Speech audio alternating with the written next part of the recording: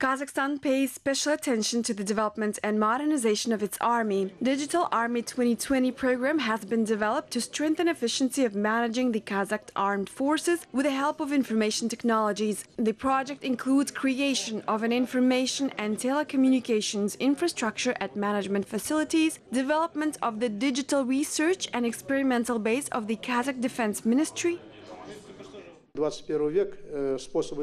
the ways of conducting military operations are changing in the 21st century. We have opened areas on cyber and information security as well as training for military journalists. We paid attention to the training of specialists of territorial troops.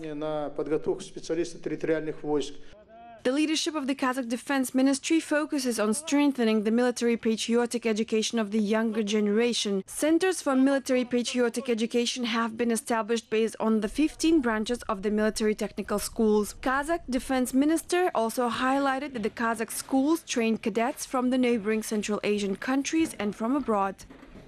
В наших вузах обучаются наши коллеги из других государств.